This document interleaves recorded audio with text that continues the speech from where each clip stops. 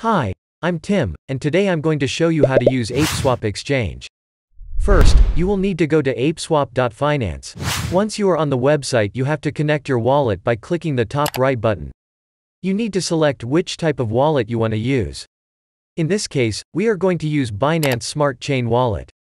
After you link it to ApeSwap, you are ready to buy some banana.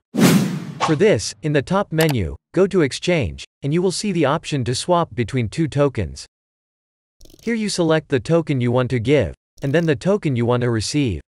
Remember that every transaction you make in the blockchain requires a gas fee to be paid in order to be executed. For example, in this case as we are in Binance Smart Chain, we need a small fraction of BNB to pay for this transaction. Right now I will be swapping BNB for bananas. You click on Swap, confirm the swap and the transaction will start. For some transactions you might need to increase the slippage in order for the transaction to succeed. Slippage refers to the difference between the expected price of a trade, and the price at which the trade is executed, and usually you want the slippage allowance as tight as possible to prevent yourself from overpaying. In some circumstances you do need to increase the slippage allowance though, this is either when your buy order will move the price a lot, so in cases of low liquidity or very big buy orders, or, if you are trading a token that has a mechanism in which every transaction of it will cost a certain percentage fee, for instance foot.